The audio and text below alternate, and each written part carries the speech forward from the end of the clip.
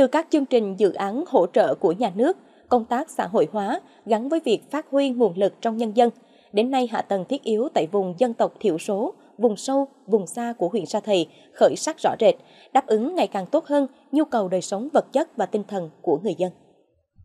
Con đến lớp con có vui không? Có. À. Đây là hoạt động ngoài trời của giáo viên và học sinh tại điểm trường mầm non chim non ở làng Tum, xã Gia Ly, huyện Sa Thầy. Hoạt động này trở nên quen thuộc với nhiều người dân ở đây. Không còn cảnh trường học xuống cấp thiếu thốn như những năm trước. Năm 2023, điểm trường được xây dựng khang trang với đầy đủ các trang thiết bị, công trình phụ trợ, đáp ứng tốt nhu cầu dạy và học của giáo viên học sinh. Thì đối với những cái điểm trường làng thì à, cơ sở vật chất đã xuống cấp, đã cũ, à, thì nói chung đã xây dựng lâu năm cho nên là không còn có nói chung không đảm bảo an toàn à, cho nên nhiều khi là phụ huynh cũng không có tin tưởng. À, họ e ngại đến lớp sợ không à, không an toàn cho các cháu à, cho con em mình. Cho nên từ khi mà có công trình xây dựng thì nói chung là um, cơ sở vật chất khang trang khang trang hơn.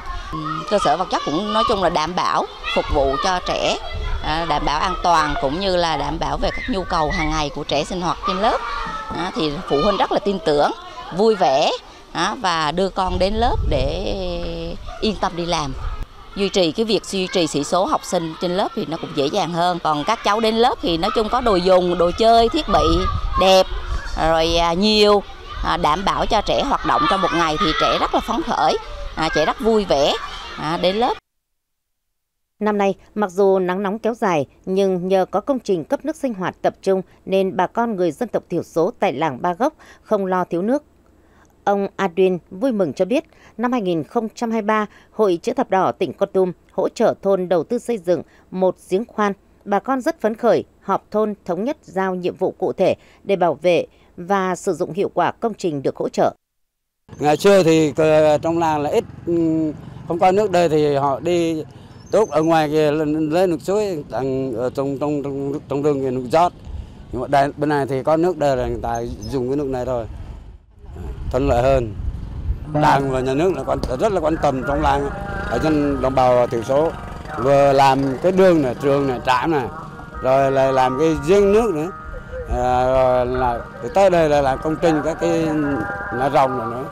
Vừa là nâng tới đây là nâng cấp lên cái cái đường nông thôn nữa. Những năm qua, huyện Sa Thầy ưu tiên các nguồn lực đầu tư xây dựng hạ tầng thiết yếu cho các xã thôn đặc biệt khó khăn.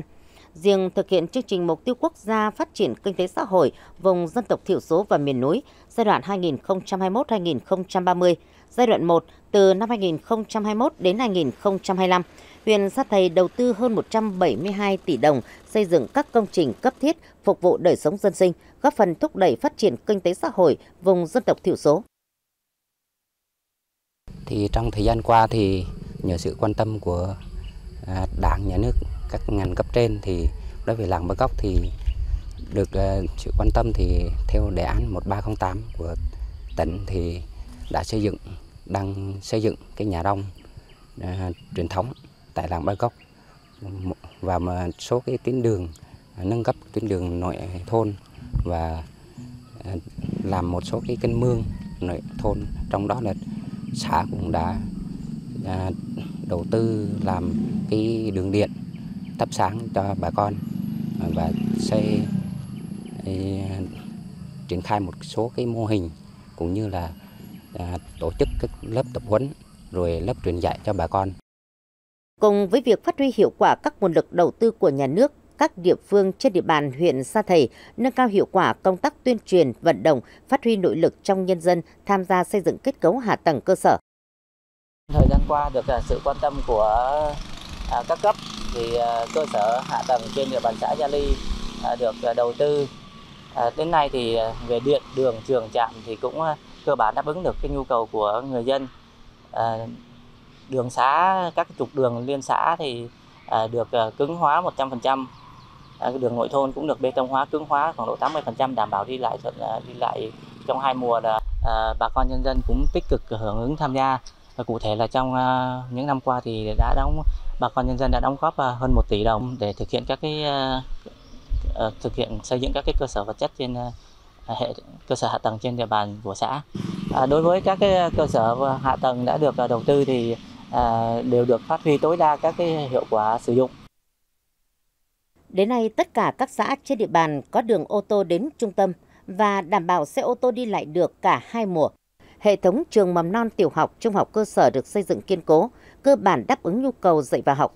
100% trạm y tế đạt chuẩn theo Bộ Tiêu chí Quốc gia về y tế xã.